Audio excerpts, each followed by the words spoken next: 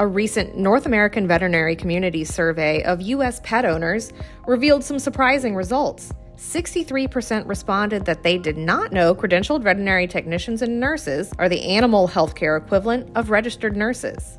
I think what we did find out that was no surprise to us really was that the pet owner is not really aware of the role of the veterinary technician and veterinary nurse in practice. We want them to be sure that they are aware of who we are, what we do, and the education behind us.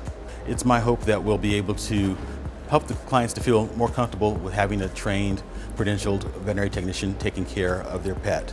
The other thing that we can do is perhaps leverage that newfound understanding to be able to utilize this in the regulatory and legislative arena in affecting change across the United States. The survey is part of a veterinary nurse empowerment initiative with a goal of elevating and advancing credentialed veterinary nurses and technicians.